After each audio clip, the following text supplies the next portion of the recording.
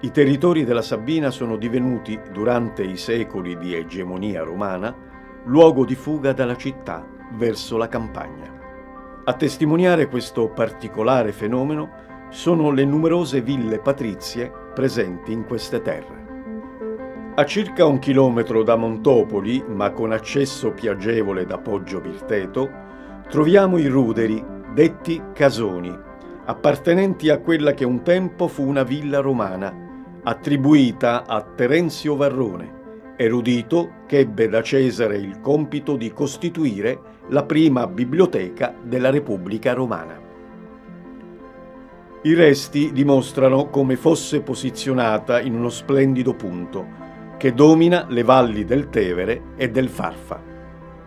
Sembra che la villa fosse collegata da condutture idrauliche ai cosiddetti bagni di Lucilla, altra costruzione romana poco distante da Poggio Virteto. La tradizione vuole che fu l'imperatrice Lucilla, figlia di Marco Aurelio, a volere il restauro dei bagni che da lei presero il nome.